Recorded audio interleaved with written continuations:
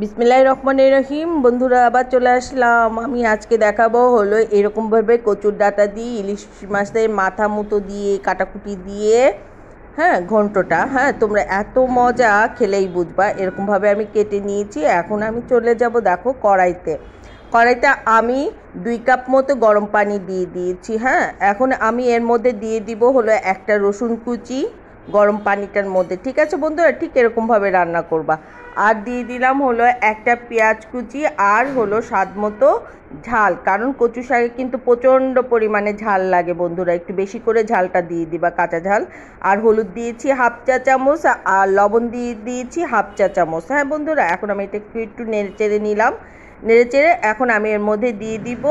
পানিটা কিন্তু তোমরা খব, অবশ্যই গরম করে নিবে। হ্যাঁ?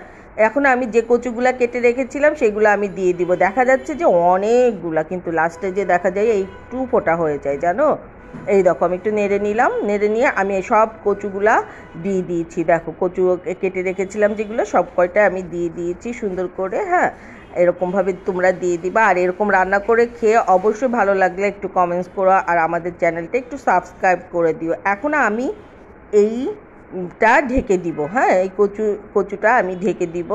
আর তোমার হলো পাঁচ মিনিটের জন্য হ্যাঁ? পাঁচ মিনিট পরে দেখো আমাদের কচুটা কত কমে যাবে আরও কমে যাবে, জানো? এই দেখো, আমি আবার একটু নাড়াচাড়া করে নিব হ্যাঁ? যাতে উপরেরটা নিচে, নিচেরটা উপরে, কারণ এটা উপরেগুলো তো নাড়াচাড়া হয়নি, সেই জন্য আমি এখন এটাকে সুন্দর করে নেড়ে চেড়ে দিব। নেড়ে চেড়ে আমি আবার ঢেকে দিব হলো তোমার হলো পাঁচ মিনিটের জন্য, বন্ধুরা। তোমরাও এরকম রান্না করবা। অবশ্যই অবশ্যই। পাঁচ মিনিট পরে দেখো আমাদের কি অবস্থা। দেখো, আমাদের অনেকখানি তোমার হলো কচুটা কমে গিয়েছে। হ্যাঁ বন্ধুরা, এই দেখো আমি নাড়াচাড়া করে নিলাম এরকমভাবে।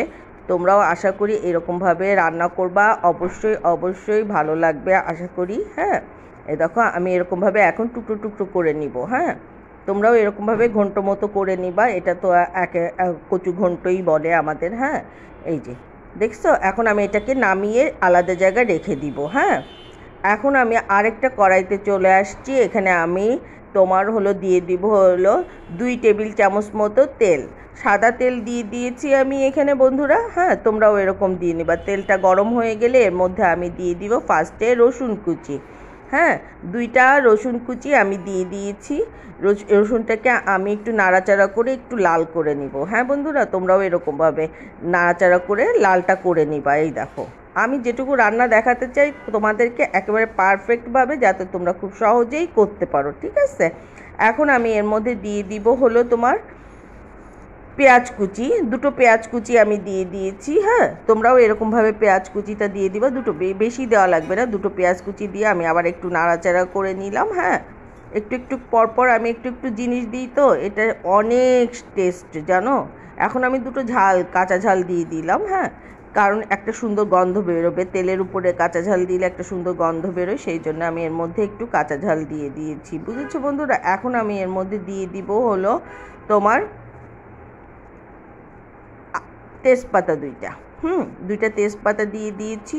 এখন আমি এর মধ্যে আরেকটু দিয়ে দিব হলো তোমাদের। আমি কিন্তু সব আদা আর রসুন বাটা এক চা চামচ। আদা আর রসুন বাটা এক চা চামচ দিয়েছি আর হাফ চামচেরও কম একটু জিরা বাটা দিয়ে দিয়েছি হ্যাঁ। এখন আমি এটাকে সুন্দর করে নাড়াচাড়া করে একেবারে মশলাটা কষাই নিব। দেখো আমি এর মধ্যে কিন্তু আর পানি দিব না হ্যাঁ। এরকম নাড়াচাড়া করে দেখো আমাদের মশলাটা সুন্দর করে কষানো হয়ে গিয়েছে। এখন আমি এর মধ্যে দিয়ে দেবো সেই ইলিশ মাছের মাথাগুলো কেটে রেখেছিলাম বন্ধুরা, সেগুলো আমি দিয়ে দিব, বুঝেছ? এরকমভাবে স্রেপ এরকম সুন্দর করে রান্না করব। অবশ্যই অবশ্যই তোমাদের ভালো লাগবে। এখন আমি এর মধ্যে দিয়ে দেবো একটু সামান্য একটু হলুদ গুঁড়া হ্যাঁ? আমরা একটু সামান্য একটু হলুদ গুঁড়া দিয়ে দিয়েছি, দেখো বন্ধুরা, হুম? এখন আমি এটাকে সুন্দর করে নাড়াচাড়া করে নিব, যাতে একেবারে মশলাটা সুন্দর করে কষায় যায়, কষিয়ে যায়, বুঝছ? এই দেখো আমার মশলাটা সুন্দর করে কষিয়ে গিয়েছে। দেখো, একেবারে তেলের উপর চলে আসছে, বুঝছ? এখন আমি যে কচুটা সেদ্ধ করে রেখেছিলাম, সেই কচুর ডাটাটা আমি এখন এর মধ্যে দিয়ে দিব, বন্ধুরা। এই দেখো হ্যাঁ? দিয়ে আমি এটাকে সুন্দর করে নাড়াচাড়া করতে থাকব, দেখো। এখন কিন্তু অনেক পানি আছে, এর মধ্যে কোনো পানি থাকা যাবে না। সব পানিটুকু একেবারে মাখা মাখা করে টেনে আসবে, ঘন্টর মতো হয়ে যাবে, তেলের উপর চলে আসবে, ঠিক আছে? আমি এখন এরকমভাবে খুন্তিটা দিয়ে টুকরো টুকরা করে নিব, যাতে হলো ঘন্টটা সুন্দরভাবে হয়ে যায় হ্যাঁ? তোমরাও এরকমভাবে করবা। এখন আমি এটাকে ঢেকে দিব হলো তোমার হলো তিন চার মিনিটের জন্য, বুঝেছ? যাতে মশলাগুলা, ইলিশ মাছের মাথাগুলা সুন্দর হয়ে যায়।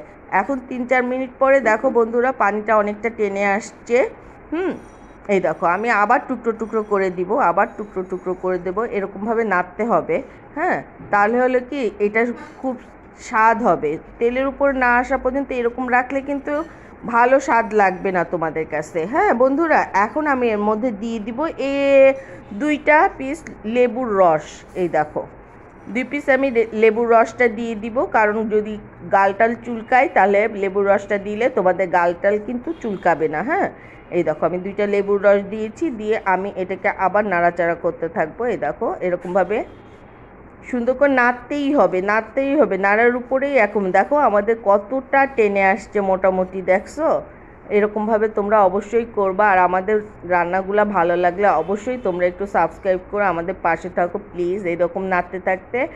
দেখো, আমি কিন্তু দুই তিন মিনিট ধরে এরকমভাবে নাড়াচাড়া করেছি হ্যাঁ? এই দেখো, একেবারে টেনে গিয়েছে, তেলের উপর চলে আসছে। দেখো বন্ধুরা হ্যাঁ?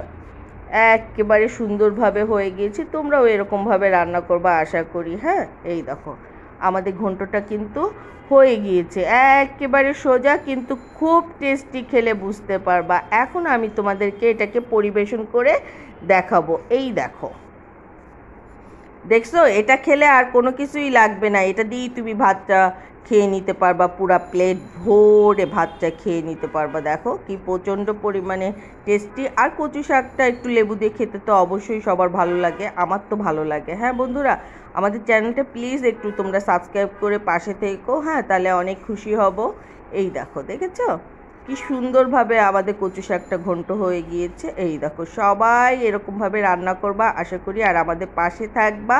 হ্যাঁ এতে আমরা সবাই, আমার রান্নার রেসিপি দেওয়ার উৎসাহ আরও বেড়ে যাবে। সবাই ভালো থাকো, সুস্থ থাকো, টাটা, বাই বাই।